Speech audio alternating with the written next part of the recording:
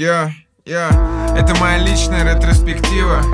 Улицы застыли, и я вместе с ними.